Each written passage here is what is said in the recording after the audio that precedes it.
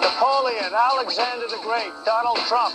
We're all cut from the same cloth, and that cloth is very, very large. It's not too big, is it? No. Why do New Yorkers have such big mouths? Go big or go home. Because they eat big pizza like the big New Yorker from Pizza Hut. We're talking 40% bigger. Soft, fresh dough with all your favourite toppings. Now from just $9.95. You've got to be losing money on this.